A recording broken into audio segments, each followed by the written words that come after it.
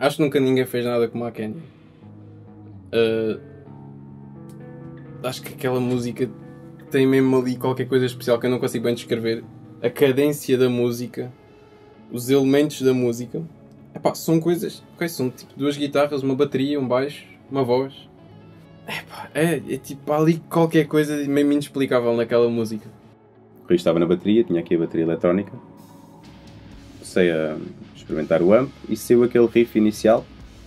E, e a partir daí, que até temos, temos isso filmado, mas que não tem nada a ver, o riff está completamente diferente. Mas uh, a partir daí começámos, nesse dia mesmo, a desenvolver uma ideia. Fizemos o, a intro, um verso, na altura não sabíamos que era verso, refrão, uma ponte.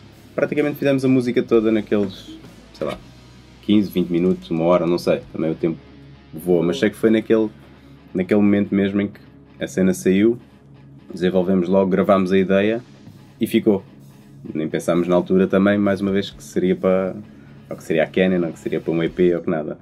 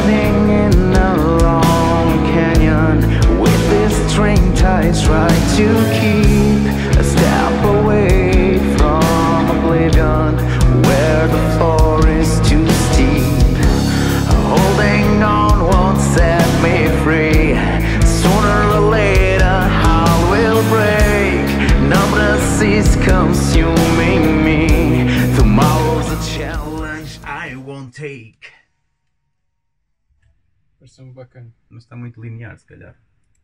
Não, acho que está fixe. É?